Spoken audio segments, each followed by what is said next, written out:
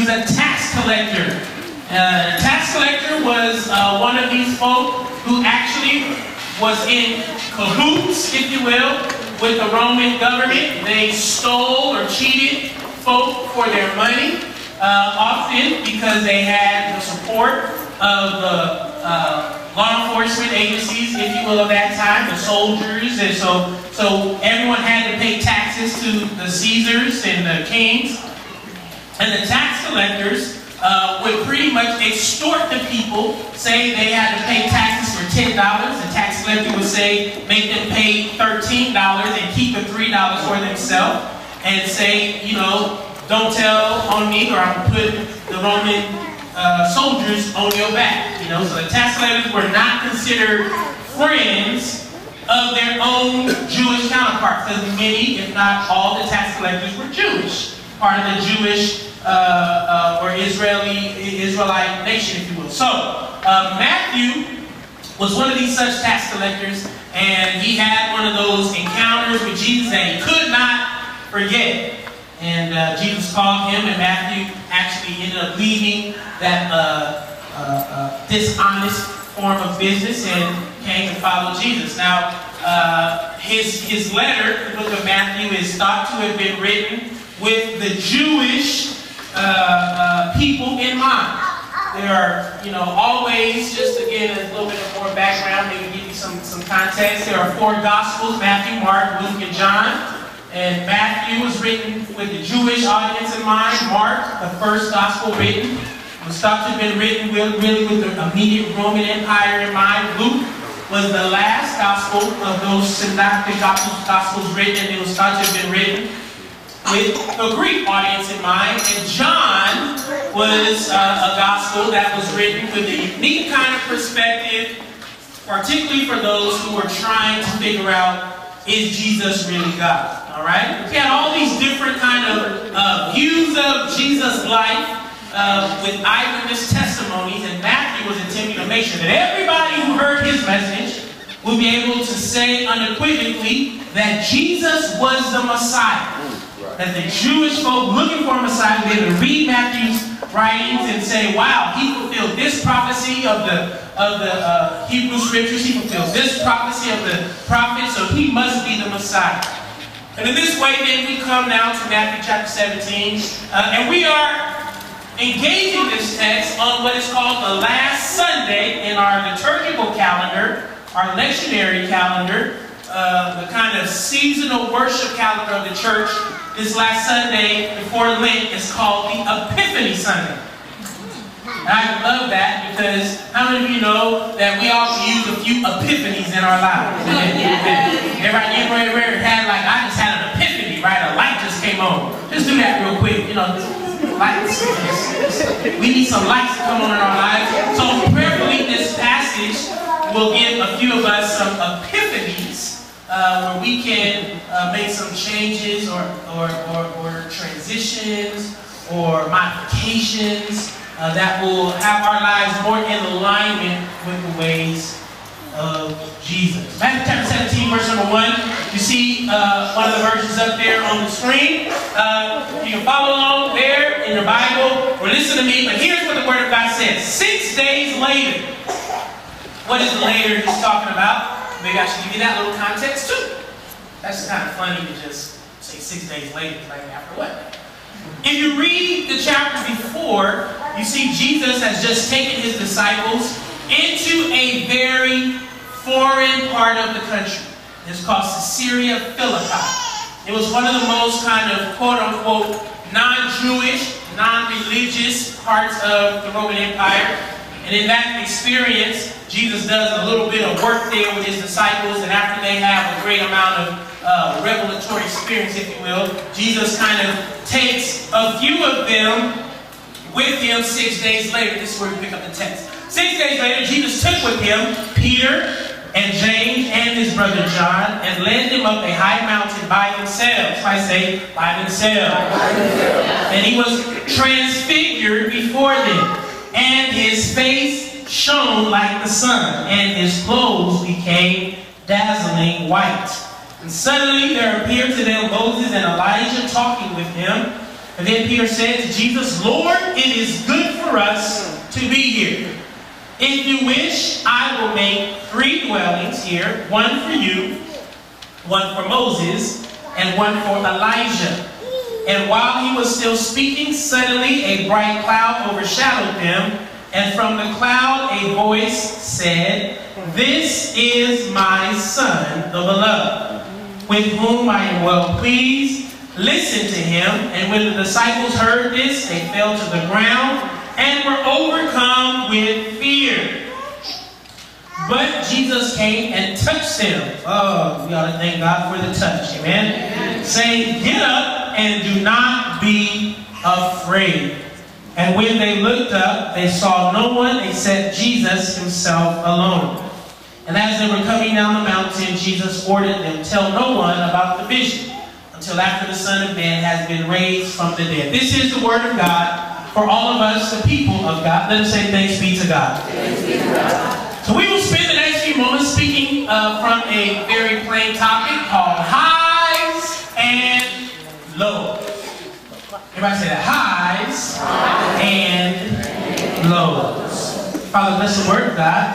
Let us direct for us, the people of God. We ask you to hide this word in our heart so we will not sin against you Send your anointing, let it rest upon me, the hearers of this word, and anointing that makes preaching, teaching, and even hearing easy. We'll give your name all the glory and praise. In your name we pray. Let the people of God say amen. amen. Highs and lows. Now, how many of you know that there is a rhythm in our lives we can all expect uh, that is continuous? And that's really what rhythm is. It is a continuous flow of activity, and in many ways, this flow is beyond your capacity or ability to control. There is a rhythm that will happen in our lives that will not always be according to what we may want to happen. And the longer you live, I believe, you become more wise when you are at peace with the rhythms of life. When you're young like me, praise God, or younger like some of you, or or, or when you got a lot more money like some of you, amen, and, and, and a lot more power, or a lot more, more intellect, how many of you know you can kind of trick yourself into believing that you can force your will on the world? Or at least on circumstances around you that if you have enough money or enough intellect or enough power or enough friends or people, uh, you can kind of make the world after your own will. It's kind of what uh, the, the, the, the, way it goes. Uh, kind of like Frank Underwood in The House of Cards. Praise God. Yeah. Um, Many of y'all watch The House of Cards. Anybody watch The House of Cards? and all y'all that are hung up on scandal, you really want to see a good show you should watch The House of Cards. Praise God. Yeah. Uh, Machiavellian in all its many ways, but you have a guy in there who who who seems to, amen, be filled with power and and and tries to manipulate events and and outcomes. And because it's a show, it always seems to bend his way. But how many of you know your life is not a TV show? Some of us live our lives that way. Amen. But how many of you know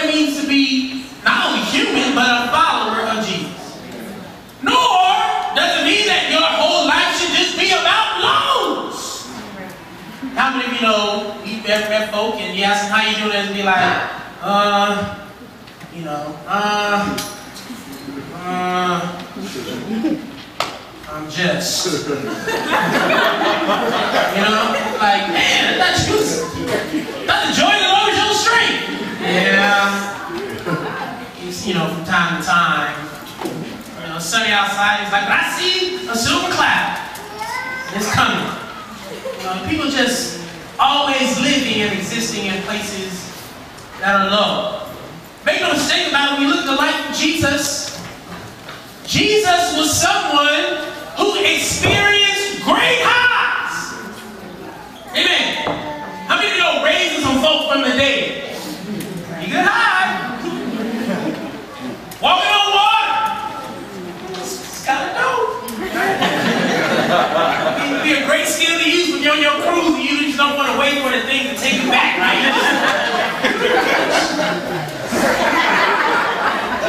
Pretty good high. You take taking a little bit of bread and fish and feed everybody. Pretty good high. But how many of you know Jesus also had some pretty good lows? Amen. Amen. Right after he got done healing some folk, they tried to throw him off the cliff. Like, hey, hey, hey. Pretty, pretty bad low. Or when he's on his way to the cross and everybody left him. Come on, preacher. Come on. On. Pretty, pretty bad low. Or the one where he said that he could not do any great works in this whole city because people didn't have any faith. I mean, what does it mean for you to be able to help somebody, but because they can't believe that you can't help? It's pretty, pretty bad low. That part of what even the life of Jesus was indicative of was a lot and equally some lows. But Jesus, in all of his life experience, was able, as the uh, Hebrew writer said, book of Hebrews, be tempted in every point like us, yet not fall into sin. And it is this witness and testimony that I find to be so compelling and so helpful for us as we are trying to figure out, God, what is it you would have me to do with all these highs and lows? We are entering a season of Lent. And as I said, this last Sunday is Epiphany Sunday. Could it be that as you go into Lent, as we enter into a season where the church all over the world will begin to take this march toward the cross, Passion Friday and Resurrection Sunday or Easter, that there's a journey that God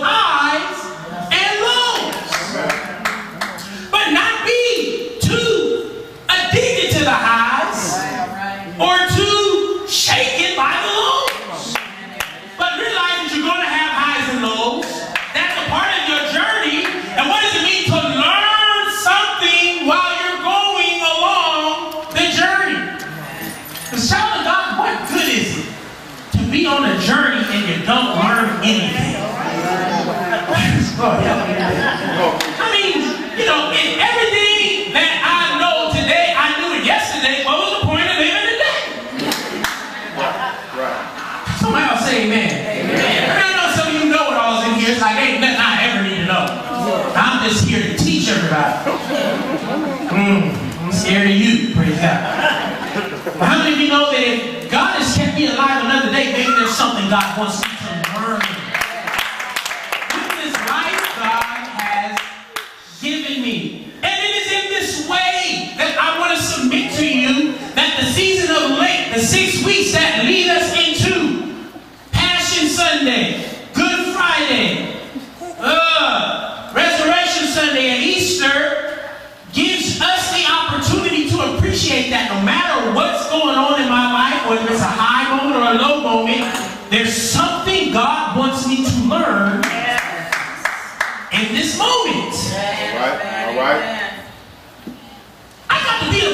situation where God, I can get a revelation from you, an epiphany, a, a, a, a thought that I did not expect could happen in this moment. But mm, I thank God for surprising me.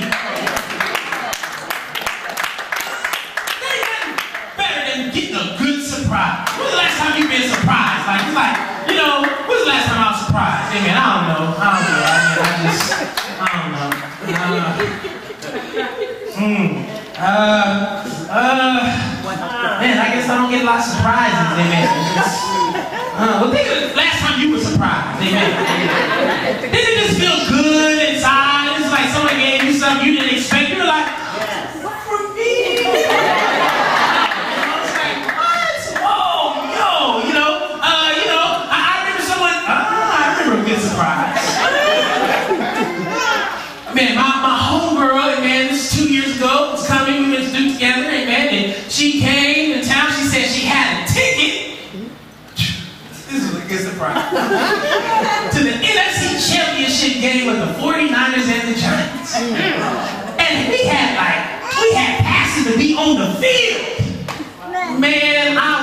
just, you just sold me for a nickel and I just went after you.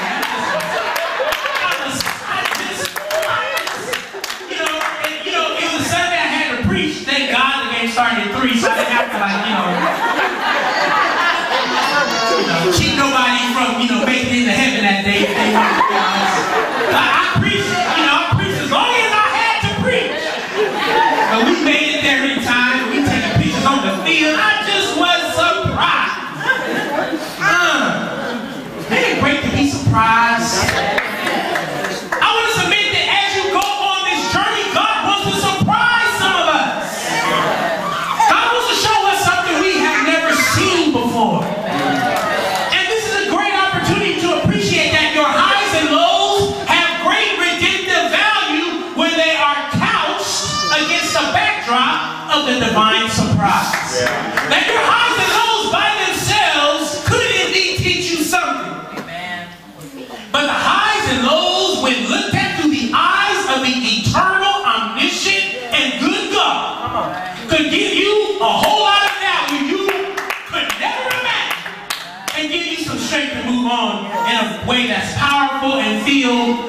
great hope.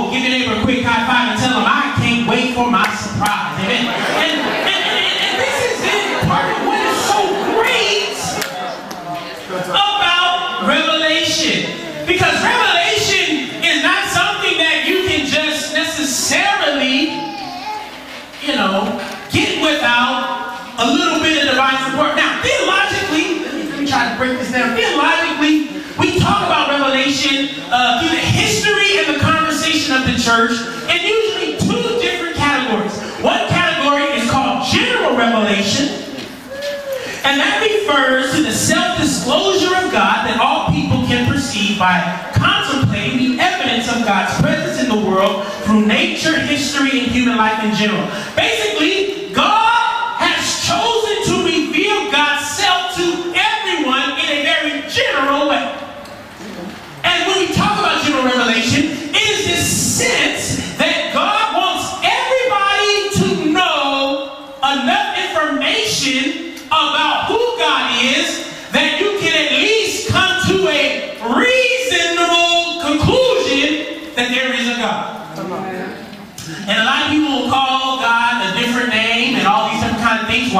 because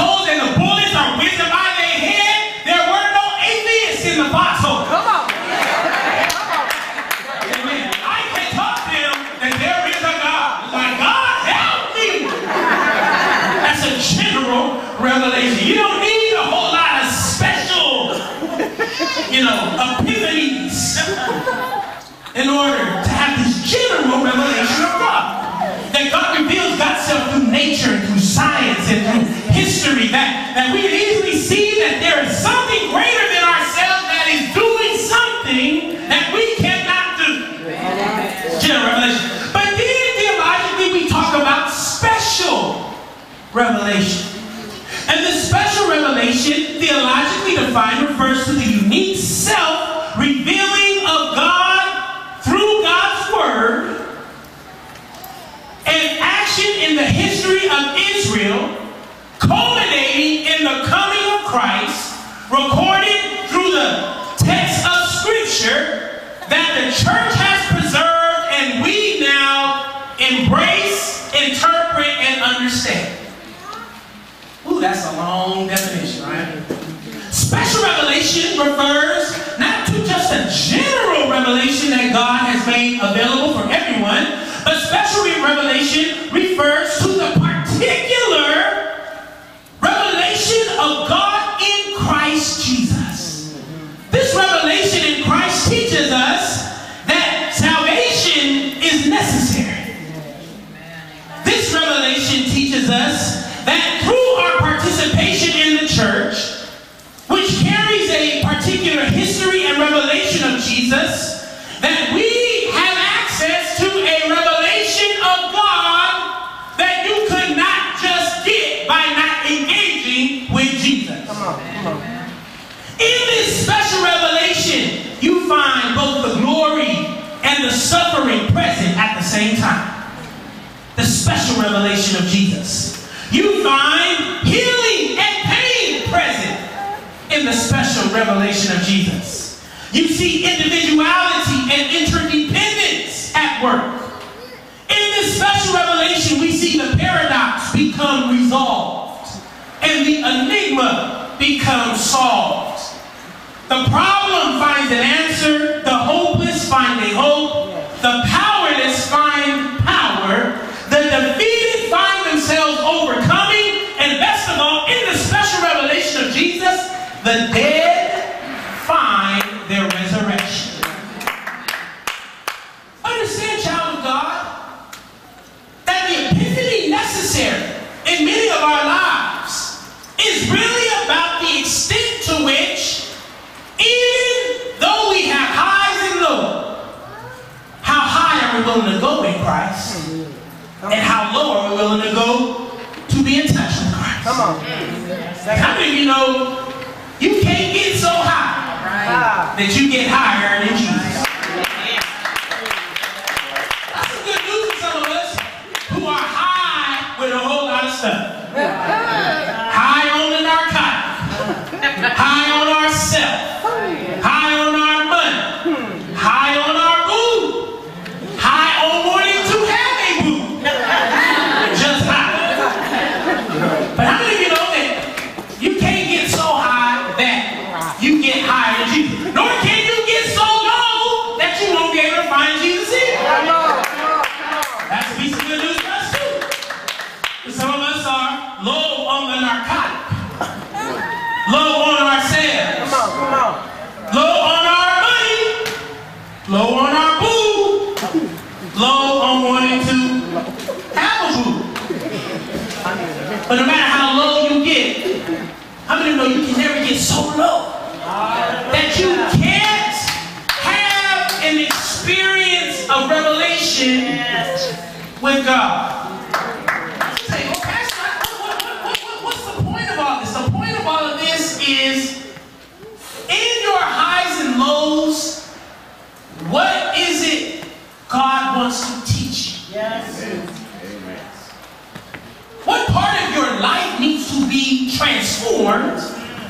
change, not just you become a punching bag. Hmm.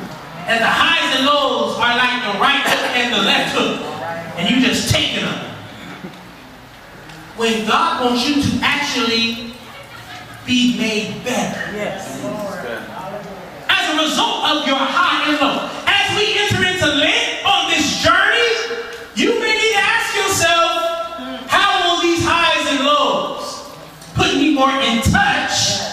with the journey that Christ had to make. Because understand, Jesus didn't just, you know, float through the world unencumbered. He didn't just get baptized in the Jordan and come out the water floating. Right. Slide up on the cross.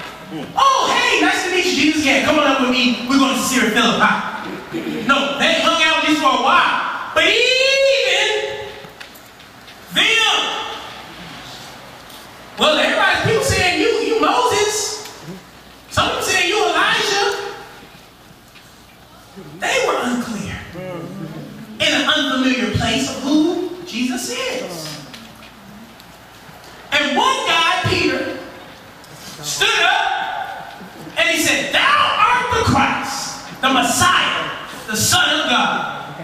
Jesus told Peter, flesh and blood has not epiphany or revealed this to you. But listen to this. He says, after that, upon this rock I will build my church. Now some folk, a lot of ink has been spilled throughout history Was Jesus talking about. Upon Peter, he was going to build his church. Or upon this confession, would he build his church? I like to just say that there's about the confession that in my unfamiliar places, I am learning to declare that He is my Savior. And Jesus says, on that confession, I will build my church and the gates of hell will not prevail.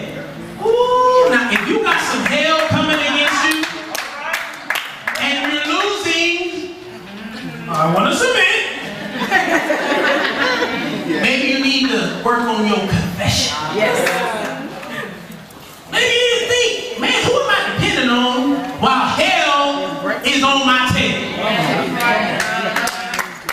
Because the Bible says, Jesus said, now, if it was me saying it, you should be worse. hmm If it was Obama saying it, you should be worried.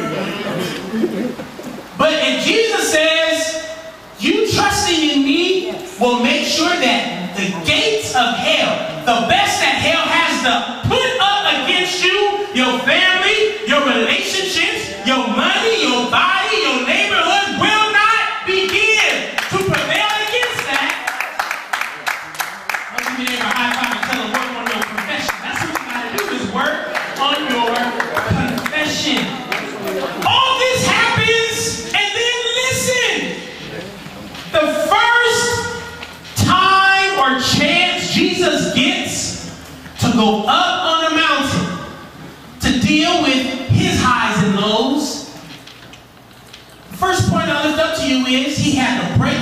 from that crowd. And if you're going to be able to successfully deal with the highs and lows in your life, my first point to you is you're going to have to learn to pull away from some of these crowds. I know it's gonna get tough in here today. But just tell your neighbor, pull away, I gotta pull away, I gotta pull away. Now, now, now understand, Jesus himself had circles of intimacy. Groups of people that he hung out with sometimes, and other folk he didn't. Jesus was discriminatory with his time. The most loving man who ever walked the face of the earth according to our faith and belief. But yet, when he needed to go up to the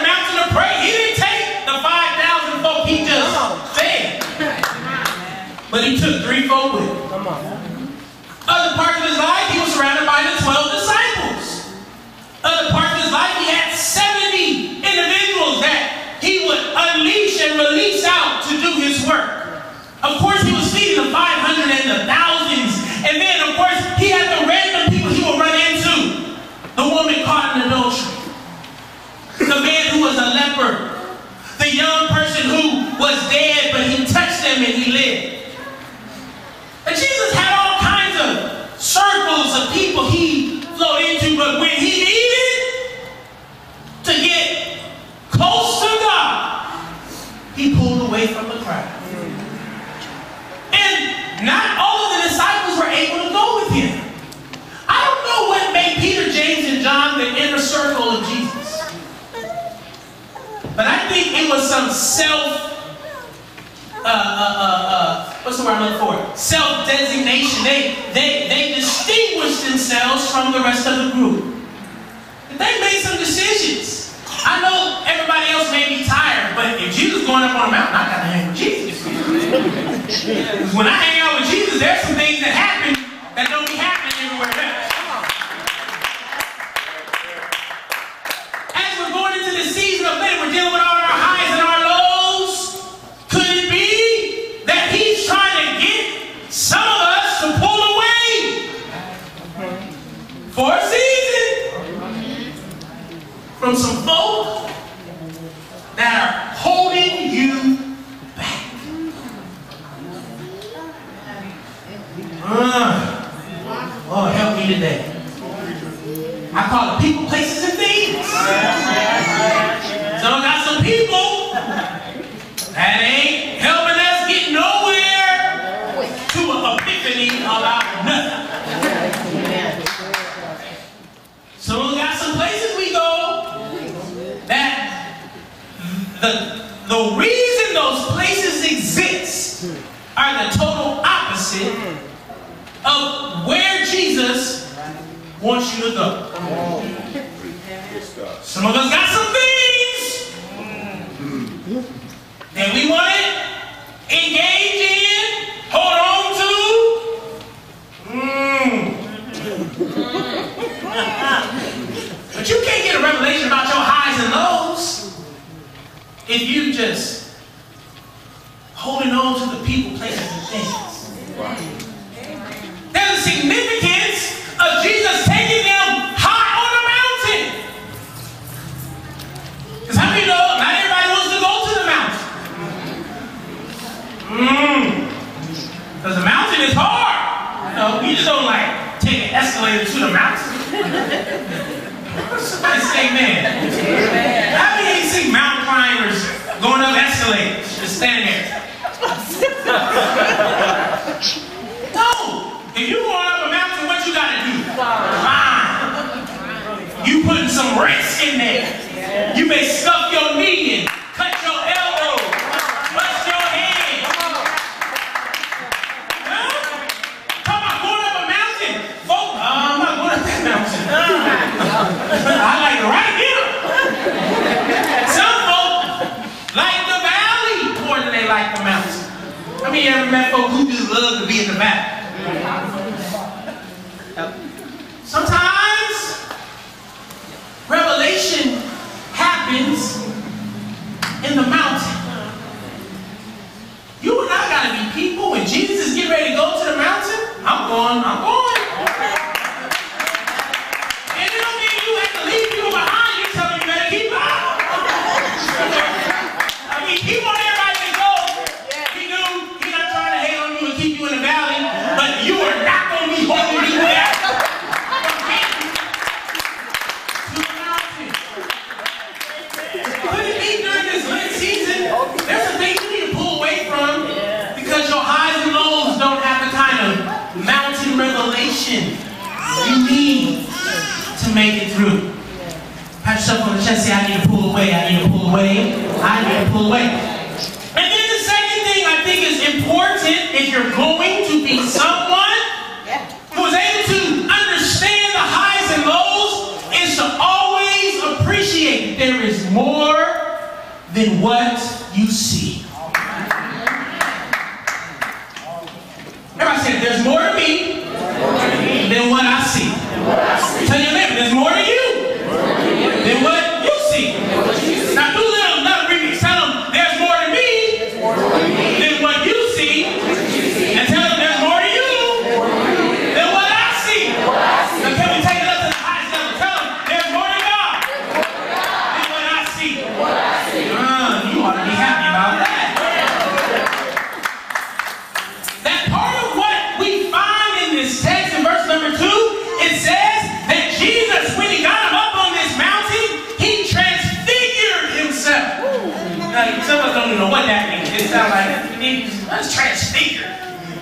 I don't know, but I'll try to explain it.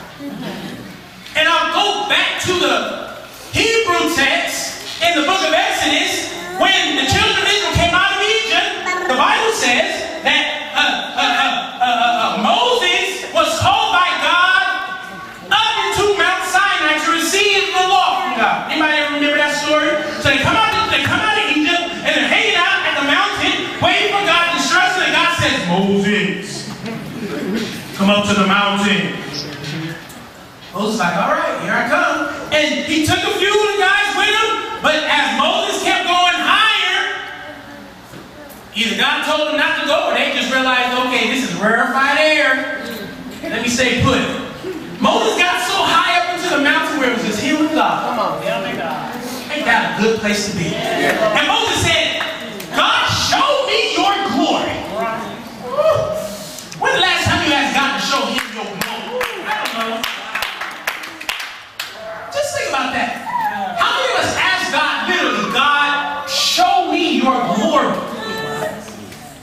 Show me who you are. I don't know, some of us, we, we, we ask God for little things like, God, give me some money. Some of that's the biggest thing to ask God for, which shows us what we really think is a priority and the hardest thing to get. Show me, God, show me how to make some money. If I get some money, boy, I, I, I, my life will be great. Mm. Then somebody say, more money, more problems. You know what I'm saying? I heard Deion Sanders said, when I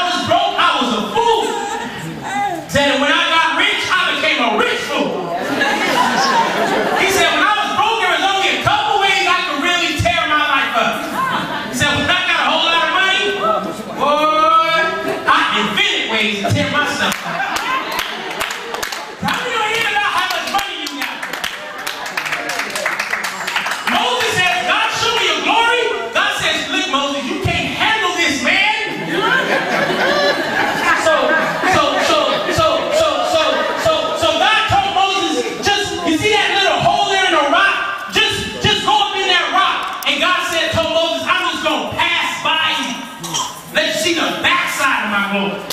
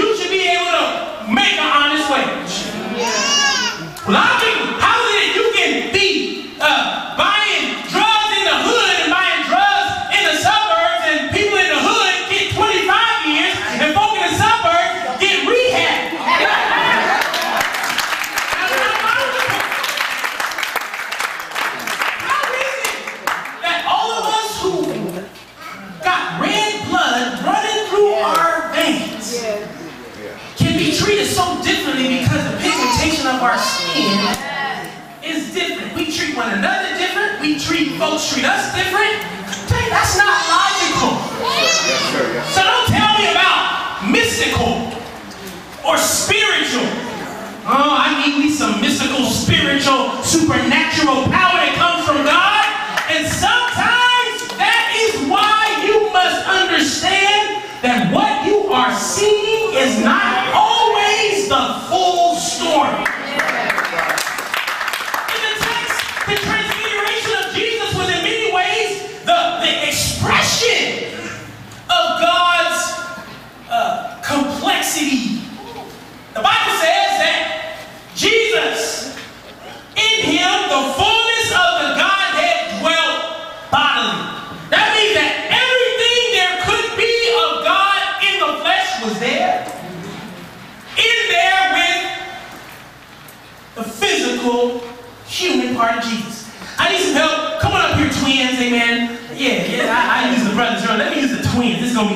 praise God. I got put on the stage, because we say look alike, praise God. And, and when they didn't help, they didn't know I was going to do this, right? Amen. Y'all stand right here, amen. Stand, stand right there, back to back, amen.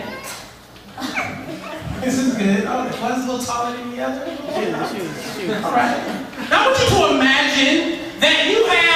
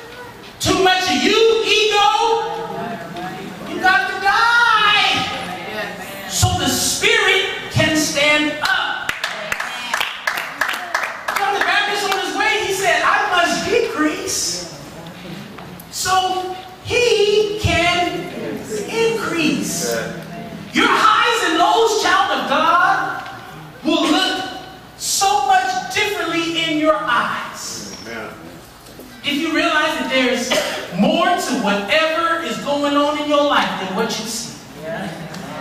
Just like there's some stuff happening in the life of Jesus when he was here that you couldn't capture. There's some stuff happening in your life that you can't just capture. How many of you know your situations, highs and lows, things happening that aren't always captured by the naked eye? But if you can appreciate that God is working even in spite of all what's going on, then you'll make it through these highs and lows. I can't spend a whole lot of time in this one because I'm way over time. Appreciate this. When they got up there on the mountain and they had that experience, they had all kind of emotions. One moment they were super excited. Oh man. Peter and was like, ooh, this is this is hot. This is dope. We, we gotta stay right here. Let's build us a church. Build us a tabernacle. We can't leave. And Jesus told them, no, I got to go to Jerusalem. Can't be hanging out here. How many of you know sometimes you can have an experience with God that you don't want to go nowhere? You want to stay right here. Just that. Just sit right here. But how many know you can't stay in church in here? You got to go. You see them go, boom, you got to go,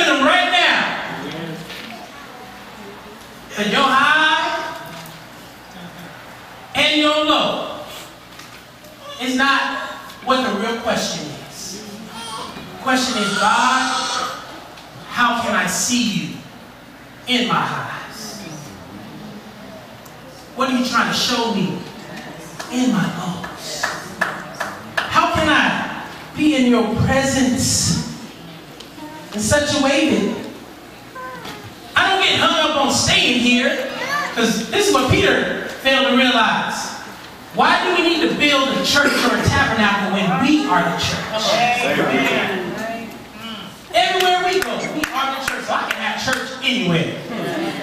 I can meet God anywhere. It is not where I am, it's about who's with me.